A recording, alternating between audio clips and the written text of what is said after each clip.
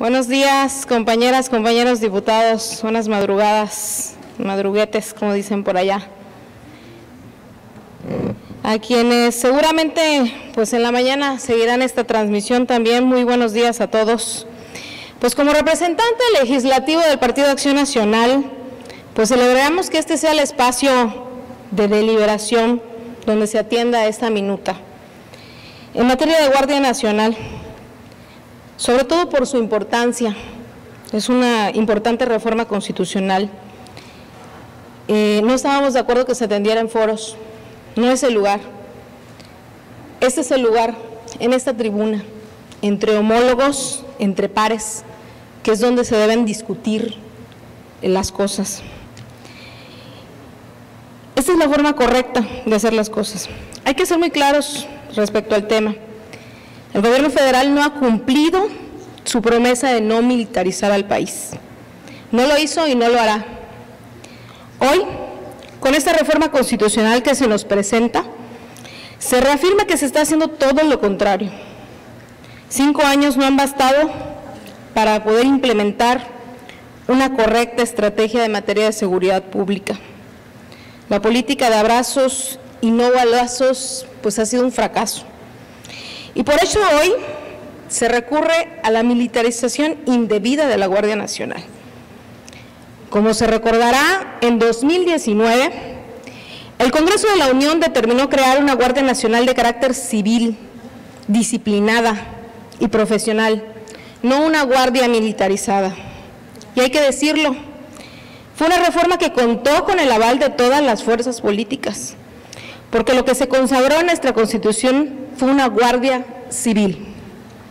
Si bien es cierto, en esta reforma se otorgó un plazo de cinco años al gobierno federal para que disponga de las Fuerzas Armadas en tareas de seguridad pública de manera extraordinaria, regulada, fiscalizada, subordinada y complementaria.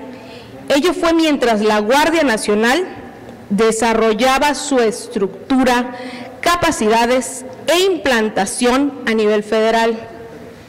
Fue una decisión de carácter temporal, no una, intervención de las Fuerzas Armadas de manera definitiva. Fueron cinco años para trabajar en una estrategia que lograra el objetivo de convertir a la Guardia Nacional en una fuerza de seguridad profesional, equipada y con un mando e integrantes civiles. Pero ello pues no se ha hecho. No se ha respetado el mandato constitucional de formar una guardia civil, como se dijo. Han pasado ya tres años y lo único que nos damos cuenta es que la estrategia ha sido fallida. Y se solicita seguir prorrogándola a través de una reforma constitucional para lograr alargar nueve años el uso de las Fuerzas Armadas en tareas de seguridad pública en todo nuestro país. Hoy vemos con preocupación que estamos viviendo la peor ola de violencia. Las y los ciudadanos en México y en Quintana Roo vivimos en un ambiente de inseguridad, de terror, en donde los hechos delictivos se incrementan día con día. Los datos no mienten.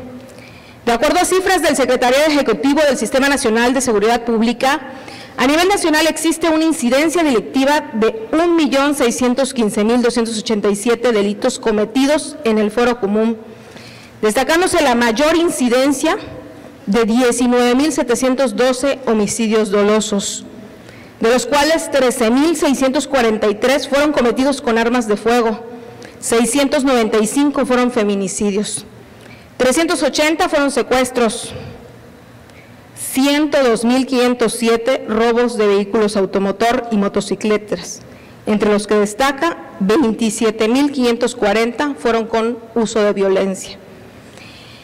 En Quintana Roo, pues desde luego las cifras tampoco van bien.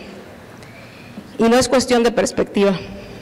Nuestro estado ocupa el tercer lugar a nivel nacional en la escala de incidencia delictiva por cada 100.000 habitantes. Sí, es el deshonroso tercer lugar con datos verdaderamente preocupantes.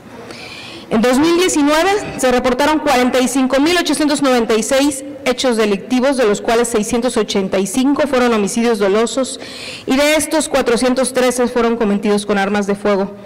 Además, se reportaron 24 modalidades de secuestros, de entre ellos 11 tuvieron en calidad de rehén.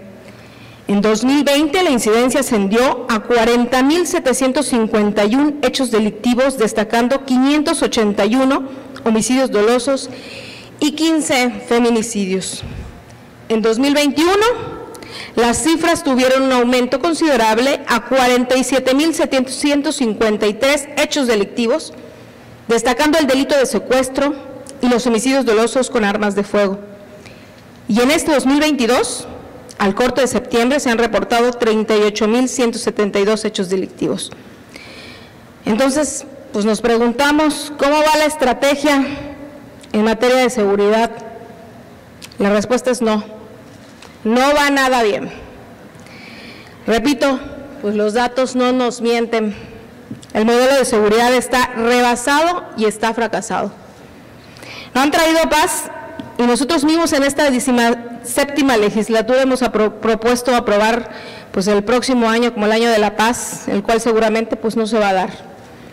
Es un modelo que no ha frenado los homicidios dolosos, los feminicidios, las extorsiones, los robos con violencia, hechos que laceran verdaderamente a la sociedad. Hay que dejarlo en claro, Acción Nacional no está en contra de las Fuerzas Armadas. Al contrario, para nosotros es loable su trabajo defendiendo nuestra soberanía nacional, la seguridad nacional y la seguridad interior, así como apoyando a la sociedad mexicana en cada desastre natural que impacta a nuestro país. Estamos en contra de esta política de militarización, de este mecanismo fallido implementado, porque no está funcionando, porque no justifica su continuidad y únicamente está ocasionando un desgaste injusto a nuestras Fuerzas Armadas, poniendo en riesgo la honorabilidad y prestigio del ejército mexicano.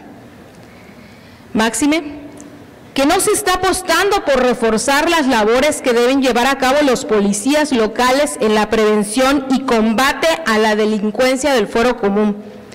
No se está velando por la mejora de los cuerpos e instituciones de seguridad pública estatales y municipales no se le está dotando de los recursos suficientes para que sean ellos los primeros respondientes ante las situaciones de inseguridad en lo local, sino por todo lo contrario, el presupuesto para 2023 se estará destinando a la militarización nuevamente de seguridad pública.